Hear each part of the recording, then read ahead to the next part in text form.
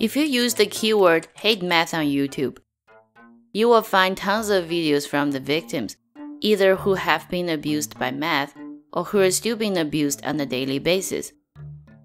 What's interesting to me is a lot of victims get really emotional describing their anger about math. They can't phrase really well why they hate it, but one message is clear math sucks. I want to share some of my own experiences and trying to figure out why people hate math from that.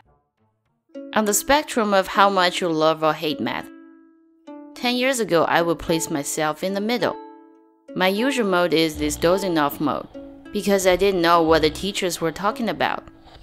And of course, occasionally I would be in this trouble mode. But now I would place myself closer to the end of loving it. But I wouldn't say that I'm extremely passionate about it because some people are just obsessed with math. They will love those symbols and rules unconditionally. Like these ones, their love for math seems unconditional. As soon as they see numbers, symbols, and formulas, regardless of whether the big picture makes sense or not, they will be high on symbols. In my opinion, these ones will love math even if big picture doesn't quite make sense. My love for math is conditional. I only love it when it starts making sense to me. When I analyzed my own transformation, I started figuring out where the problems might be. People hate math because they don't make sense. Isn't that a joke? Isn't math supposed to be the gold standard in teaching people logics and reasoning? So how can it not make sense? This doesn't make sense, right? I would like to quote from one of the smartest books I've read, Black Swan. This is a brief summary about philosopher John Locke's definition of a madman as someone reasoning correctly from erroneous premises. So there is perhaps only a fine line between the two. A perfectly logical man good at reasoning, but just from the wrong starting point. This is the math joke I found. It says that math is the only place where people can buy 60 watermelons and nobody wonders why.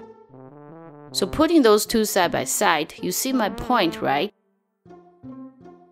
From my own experiences, the problem with the way math was taught is, before I even get to that logical reasoning part, I just can't see why I would even care about the problem in the first place. The starting point of math education is illogical. Actually, not only just math education, the whole STEM education is plagued with this problem illogical starting point.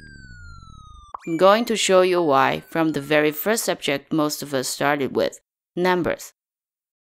This is how I felt when seeing those zeros and ones popping up whenever people started talking about binary representation used by computers. Of course, you can force yourself to follow the rules to finish some practice problems. But somehow, there is still a strange feeling of alienation that's bothering me. This strange feeling produces lots of weird questions from me when I was first studying computer basics. For example, why just 0 and 1? What's wrong with 2, 3, and 4? Why you can suddenly change the rules like that? Why computers can compute? There seems to be some mental blocks I just can't overcome. And I couldn't describe exactly what's been bothering me. Then I asked myself a question that makes me shivering. How do you compute 2 plus 3 equals to 5? What? 5, of course. What kind of question is that? But if I can't explain it, then how am I supposed to understand how to design a computer to do so? After a few months' struggle, I finally figured out what are the mental blocks.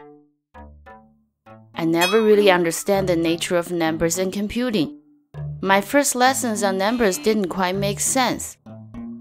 To illustrate my point that why my first lesson about numbers is illogical, let's do a recap on our evolution. I'm not an anthropologist, so don't quote me on this.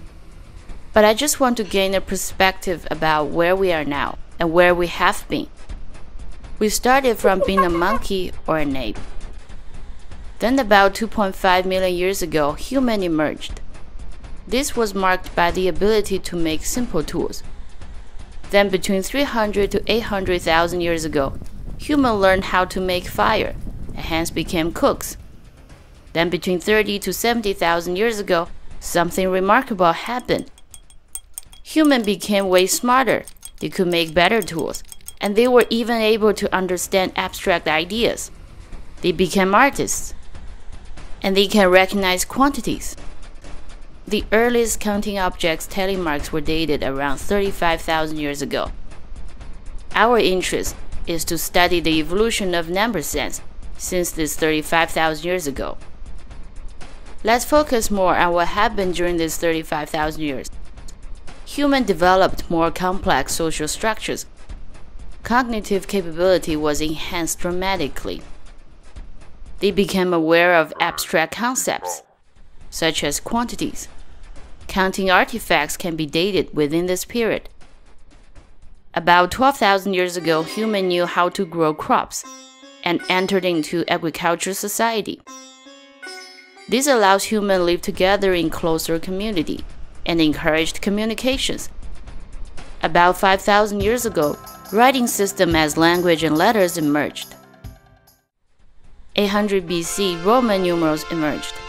I can't find the exact dates, but I'm assuming it would be around 800 BC because that's the time for ancient Rome. So let's say it is around 800 BC. Then AD 700, Arabic number system was developed in India. About 500 years after that, an Italian mathematician Fibonacci, when he was traveling with his father in Algeria, he found that the way Arabic traders did computing was more efficient because they were using Arabic numbers. He's the one introducing Arabic numbers to the West. But the transformation is only gradual. It took almost 400 years for Arabic numbers to take over the world. Let's project the evolution of our number sense onto this 2.5 million years stretch, when humans first emerged. This is 2.5 million years ago. This is now. The whole section of this 35,000 years time span will contract to this segment. And this is now 2019. For anyone born around this time, they're expected to be ready for the society in 20ish years. Remember, since the Middle Ages, our knowledge about the world progressed in unprecedented ways, and an age of information explosion started in the latest 50 years.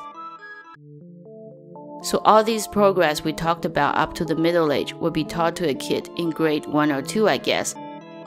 So how did we do that? considering that our intelligence when first born might not have significant advantages over those humans from 35,000 years ago. Remember, language and letters were invented 5,000 years ago?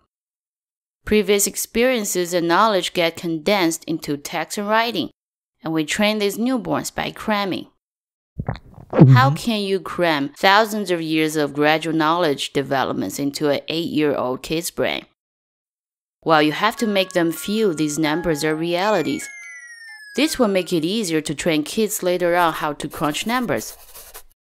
My first lessons on numbers often gave me the impression that all of a sudden knowledge just pops up out of blue.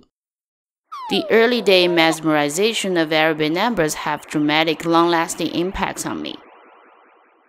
Whenever I think of numbers, those Arabic numbers will pop up. Whenever I think of computing, Arabic numbers show up. Somehow subconsciously, I thought those symbols have magical powers. If you gave people the impression that these symbols are realities, then 20 years later, all of a sudden, the game was changed completely. To some people, it could be disastrous because realities can't just change like that overnight. It feels like the sky is falling. Do you think that some smart Indian geniuses just spend a few days meditating and then boom, Arabic numbers and positional number system? The reason it took so long between humans first became aware of quantities to finally settle on how to name those quantities, I guess it's because this was how our cognition develops through both genetic mutation and endless trials and errors, and that took thousands of years. So, what would happen if we cram all those gradually developed knowledge into our tiny little brain? which perhaps has no significant change over those 35,000 years. Most people would suffer, either immediately or from long term impacts. The struggles I have when I was trying to understand how computers work are those long term impacts. They make it so hard to keep open minded. They make it difficult to learn new things because old beliefs already took roots in me. To clear the mental blocks first, I gave myself a prescription. Redo the topics on nature of numbers and computing. Two important topics which no one ever tried to explain to us. Figuring out those two things helped me clearing out the mental blocks. There will be around 8 videos on those. After that, I'm able to progress to the next step, where we will be talking about how numbers are represented in computers and who's the one doing the computing there. And then, we're able to finally talk about how to build computing circuits to do computing. There will be 8 to 10 videos on those. I simply want to share my own understanding with you. Most of them are original. Lots of them won't have sources. Trust me, I really did hope someone would address those mental blocks so that I wouldn't have struggled so much in the first place. But anyway, being original means they are subject to errors and bugs. So comments are welcome. Hmm. Being tortured myself by those boring lectures, my first goal is to, of course, avoid that. But I also hate those superficial talks, full of jargons and gestures, suggesting that everything just so simple, why didn't you just get it? Intimidating people from asking questions the 18 inch videos are going to be rolled out gradually, about one video every 2 to 3 weeks, except vacation days, which I will let you guys know. We're going to start our first topic in the next video about why I think Roman numerals really suck. It will help us understand our number system better.